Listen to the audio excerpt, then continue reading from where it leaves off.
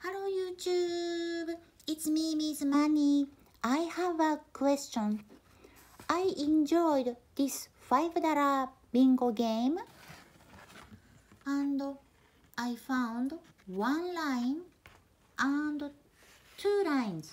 One and two. Here says line $5. So this is $5. Here line $5. So I thought I won $10. However, after I scanned the ticket, it seems like I won $15 and I carefully checked these numbers one by one but I I completed only two lines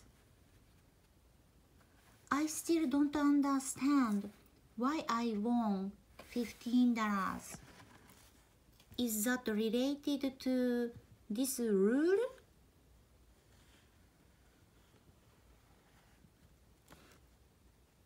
If this rule is applied, there are two cashbacks.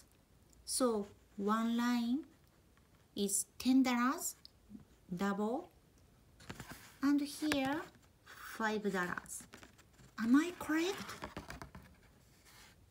If someone knows the answer, please leave a comment.